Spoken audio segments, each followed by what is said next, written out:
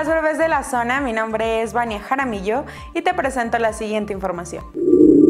Tras la propuesta del gobernador de Guanajuato, Diego Sino Rodríguez Vallejo, a los tres poderes para que no suban los sueldos a servidores públicos el siguiente año, ya hubo quien consideró la propuesta. El alcalde de León, Héctor López Santillana, propondrá al ayuntamiento congelar los sueldos del personal directivo e integrantes del ayuntamiento, así como también de las vacantes actuales y cero incremento a la nómina.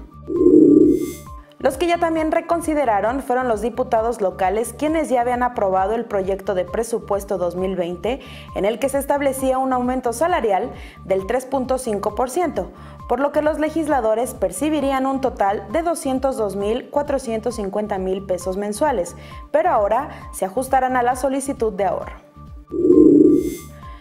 Personal de la Secretaría de la Defensa Nacional, autoridades de Chihuahua y Sonora, así como elementos de la Guardia Nacional, continúan desplegados desde ayer en la zona limítrofe de ambas entidades con el objetivo de hallar algunas de las personas que fueron reportadas como desaparecidas después de que sufriera un ataque la familia Levarón y para dar con los responsables de los hechos que dejaron un saldo de nueve muertos, tres adultos y seis menores de edad. El lamentable hecho a la familia de Barón ha mantenido al país en los ojos a nivel internacional. Los presidentes Donald Trump y Andrés Manuel López Obrador han mantenido comunicación constante también por el hecho.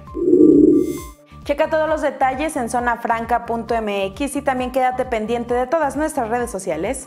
Mañana, por supuesto, Carmen Martínez te presenta más información.